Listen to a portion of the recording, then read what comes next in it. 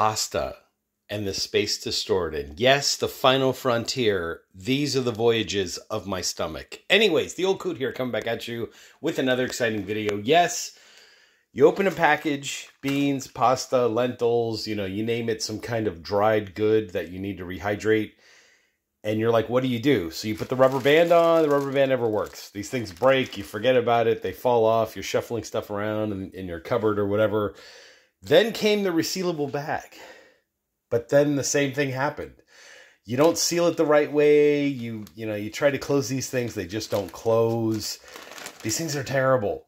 So, if only there was some product out there that could solve the solution. And yes, there is. This is from Monkey Business. This is called Glasta or Glosta if you're from the East Coast, just saying. Basically, what this does is this takes your pasta, your spaghetti, your noodles, whatever the case may be, and basically helps you to store them in an airtight container, which also has a moisture control element about it. So what I'm going to do is I'm just going to take my pasta, put it into the Glasta, and yes, this is made out of glass, which is awesome because there's less, you know, likelihood of any breakage or seals or whatever. But my pasta's in there, right? And as is, what I could do is I could just put the lid on. How cool is this? You know, Monkey Business is known for these kind of gaggy, gimmicky kind of things. It looks like a big ravioli. Look at that. Look at how cool that is. So as is, I could just put this on here, push it down. This is silicone. This is glass. You pretty much have an airtight container. If you want to go one notch, right, because that's what this channel is all about, just er, like one notch level higher, what you can do is this part comes apart, right? This part peels off. Let me see if I can do this all with one hand. There you go. So this part comes out. And what you, what you have here is you have these silica packets, right? These silica gel packets. Do not eat what's in the packet and don't break open the packet. What you do is you tear open this pouch. You pull out one of these, you know, silica gel packets you put it inside the lid and then you put this back on top, right? So remember, you're putting the packet in whole, just the whole packet in here so that doesn't mix with your, you know, your pasta, whatever.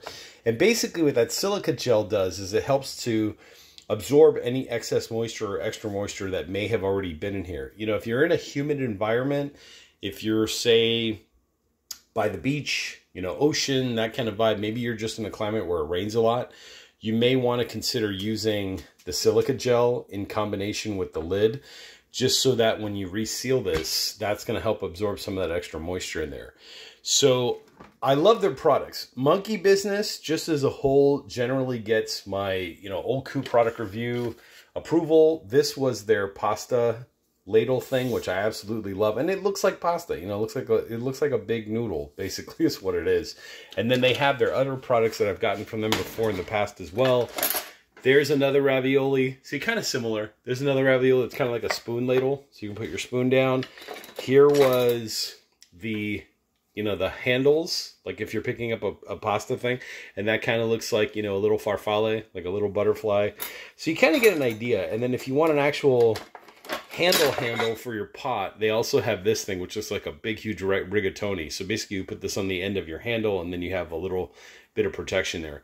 Good quality silicone, right? Built to last. These things will probably last longer than I do. Who knows? We'll see what happens. But anyways, you kind of get the idea. But specifically, today's video was about the Glasta or Glosta if you're from the East Coast. You know, Glosta. They're always from Glosta. If you catch that reference, give yourself a big like and a big thumbs up on this video. Okay, so with that being said, I will put links to this down there below in the description. I'll also put a link in the comments section. And this will be on my Amazon storefront under the kitchen gadgets products page. And I kind of get the idea. They do come in different sizes. Oh, yes, because sometimes you have more pasta than you think you need, but you actually want to store it safely and in a dry environment. Just saying. So check out Monkey Business. As mentioned, I will put some links down below in the description, also in the comments, and also on the Amazon storefront. I am the Old Coot. This is Old Coot product review approved. And I will catch you all on the next exciting video. And by the way, this pasta might not make it through the end of today because I'm feeling hungry and I have some leftover pesto and I'm going to make me some pasta.